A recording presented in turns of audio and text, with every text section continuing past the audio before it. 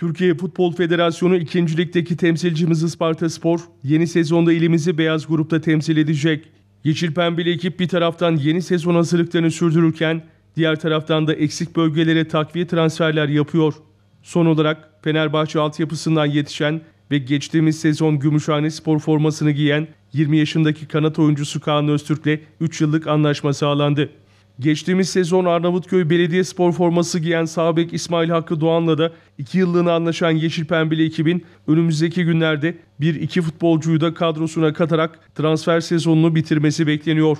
Temsilcimiz Isparta Spor yeni sezonun ilk maçını ise 1 Eylül Pazar günü deplasmanda oynayacak. Yeşil Pembeliler sezonun ilk maçında grubun güçlü ekiplerinden 1461 Trabzonspor'la karşılaşacak.